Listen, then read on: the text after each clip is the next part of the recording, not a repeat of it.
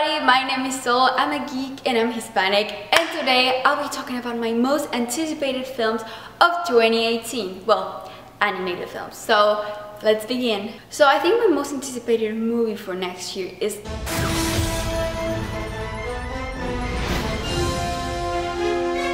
Oh wow, shocker. But it's actually quite surprising because I do not love the first Incredibles. Like I think it's enjoyable. There's so much to love about the first one, but it's not something I'm like, it's my favorite Pixar film. I think out of, you know, Pixar's latest sequels, this one the one that makes most sense. You know, it's something that the story, you know, you can learn more about these very interesting characters and their progression. For example, I think, I think Finding Dory was enjoyable, but I don't think it was a necessary sequel.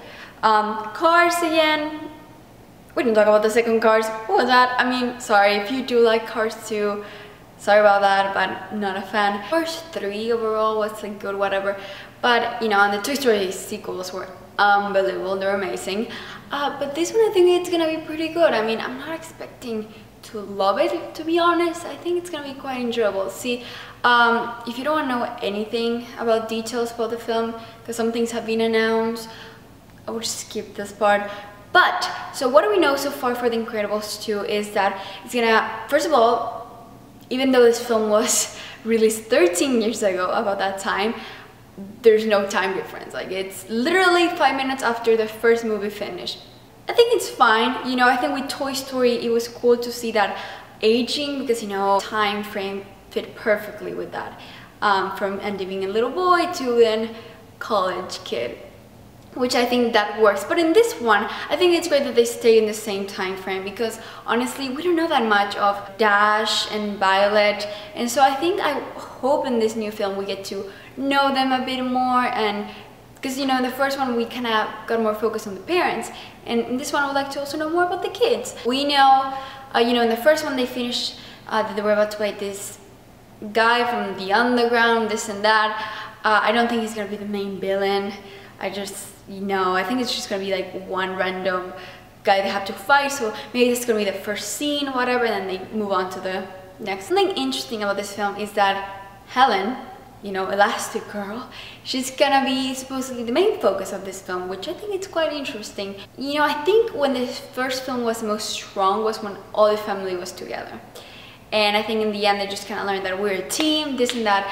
So I think it's kind of weird that they're swift switching the you know attention to just her um, I would have liked more attention to all of them together.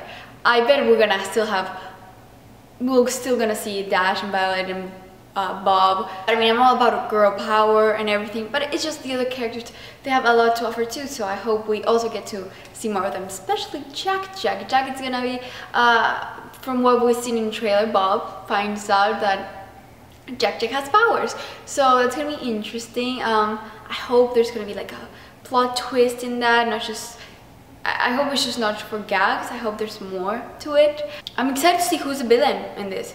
I don't think Syndrome is coming back. Syndrome does come back. I feel it'll be like a cousin or something like that. What do you think? It's probably the villain. I feel like no one knows unless you've seen the film.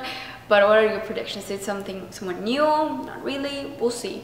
I'm excited to see Edna Mode again. I mean, her scenes in the first film are iconic. So, you know, it's a little pressure to bring that back. And talking about the voice work, it's so nice that they have everyone back except, of course, Dash because the kid grew up. What I've seen in the pictures, the animation is quite different. I mean, staying true to the original sources. But of course, since you have the new technology and everything, you know, also use it. So, you know, that thin line of like how much can we change and how much I feel like what they're gonna do is just have the original stuff and just polish it a bit more. From what I've noticed in the pictures is the colors are more uh, saturated, more vibrant, and I like that. Personally, I thought Jack Jack looked super different in the teaser trailer, and that's something I want to talk about. The teaser trailer was a bit disappointing for me. Um, I think, you know, this is a movie that is so highly anticipated, like, in, like I don't, you know, I think this is the most anticipated movie since Toy Story 3. Because, I mean, Finding Dory was, you know, anticipated, but it was mostly Ellen who wanted to see it.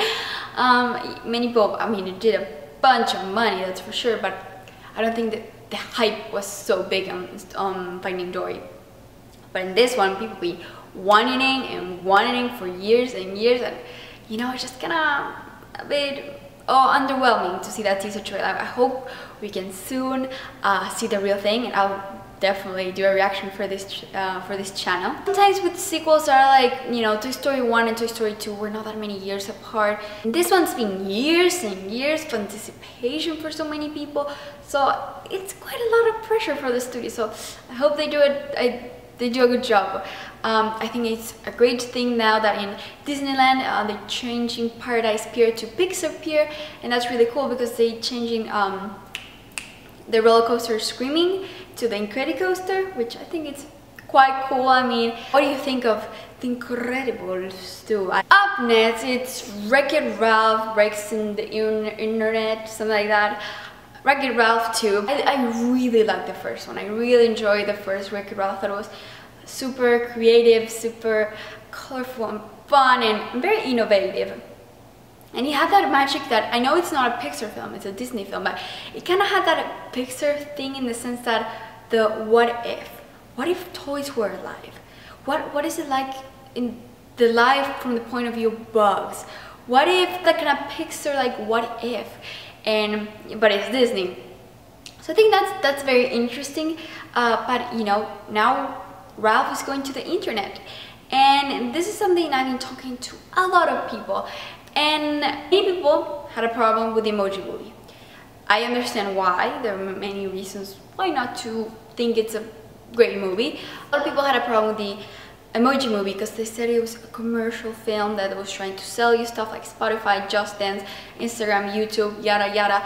Um, and my question was that, you know, Ralph going to the internet, it's going to all these parody websites. I mean, at least these are parodies and not actual names of like Instagram, Spotify, whatever. Uh, but they're going, I think, to Google or things like that. I'm talking to people and they're like, no, since they're parodies, it's fine, it's more creative. But I honestly think it's quite similar to be honest. But they're like, no, because the Emoji Movie was just cash grab and this and that.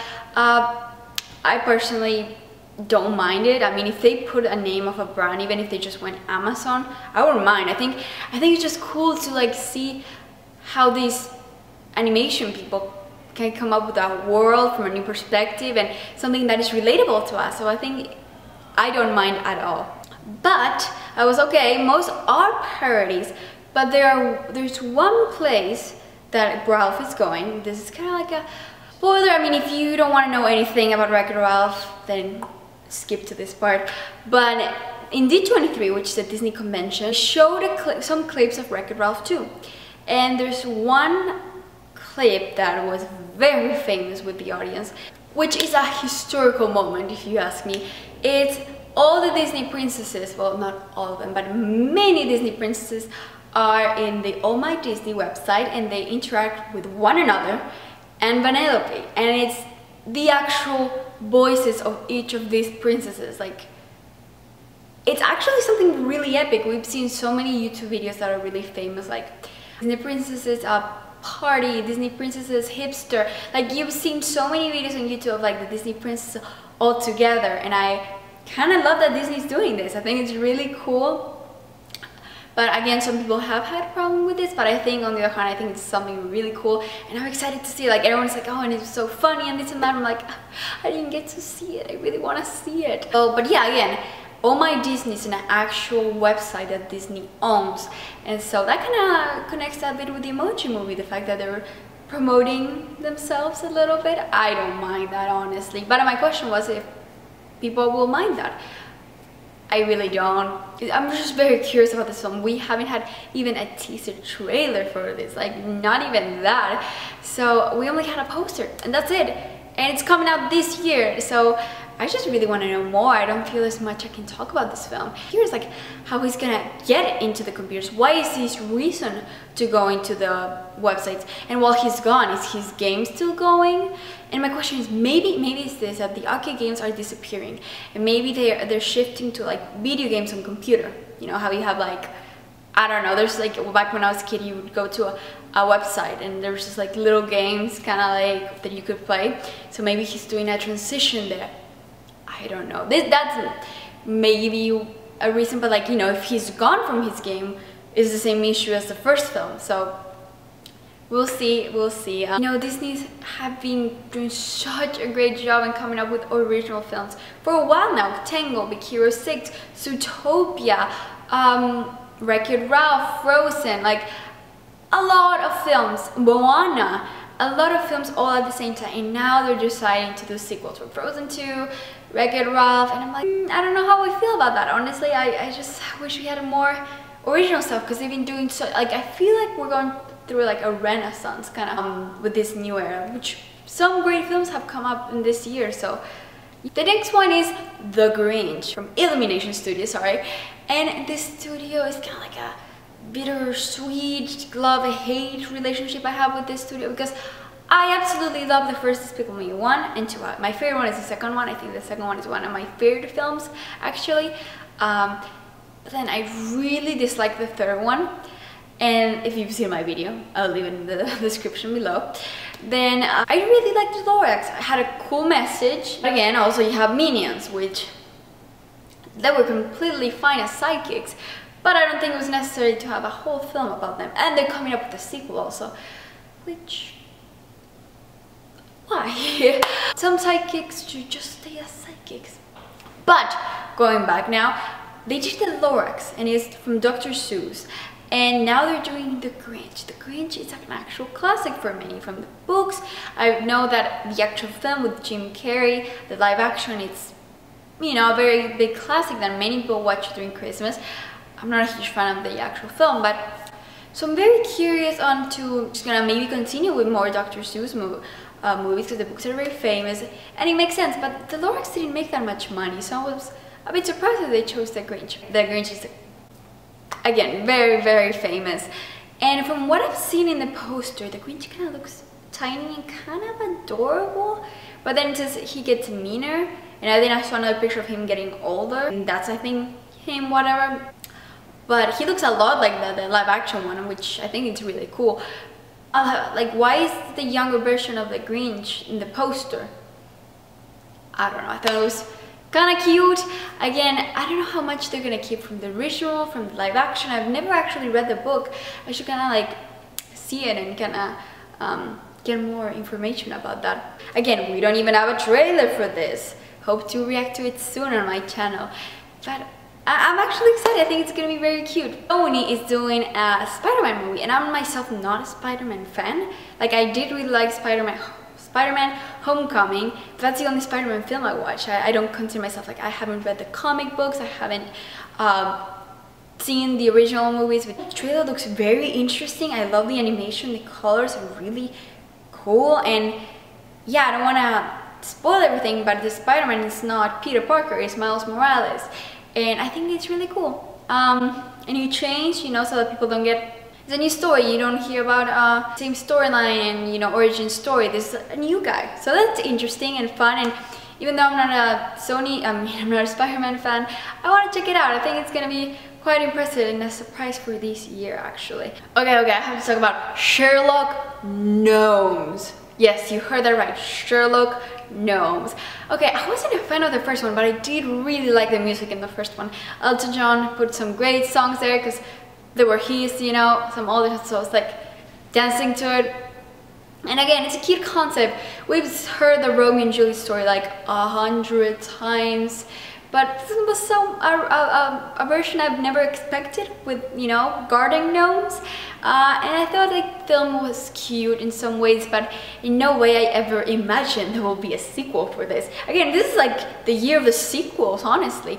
And they're doing a Sherlock twist now because it's an old British and you know why not? Um, and they have Johnny Depp as Sherlock which I'm kind of surprised because he's not that popular anymore. I mean he is but some people are like do not like him anymore so kind of surprised they picked him to be the lead for this it actually looks quite cute this film i'm actually i really want to see it i know this sounds weird but i'm actually really curious and i think I don't know, I mean, Sherlock Holmes has always been a character that I found very interesting. I mean, the, sh the show with Benedict Cumberbatch is a success. I don't think it's gonna be an epic film but I think it's just one film that's just gonna make you feel good and have a fun time I really like the trailer thank you so much for watching Uh, I'm trying this new thing. Uh, tell me if you like it, if not, that's cool. I usually do my channel's reactions of trailers and movie uh, reactions to animated films, but you don't see them that often through the year, but I want to post more. more. So I was thinking of reviewing films that have already been um, you know, like classics like from the Disney Renaissance from uh, DreamWorks, like Shrek movies, like any other studios and tell me if you're interested about that or if you just want to stick with my reaction to trailers and actual movies that are coming out this year. But I think it would be uh, a fun way to uh, be more present here on YouTube and also I really like reviewing films and yeah, why not? Uh, thank you so much for watching. Don't forget to subscribe if you have not subscribed yet. And if you want to hit the bell for notifications when I post for, you know, when this movies actually come up with trailers and I react to it and we talk about it. So make sure to also hit the uh, bell thing and to subscribe. Thank you again. And I'll see you all very soon.